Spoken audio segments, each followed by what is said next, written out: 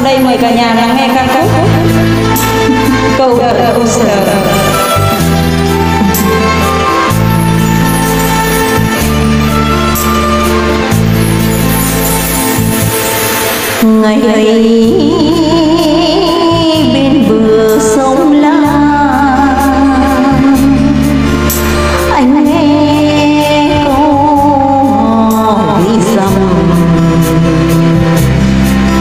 thế nên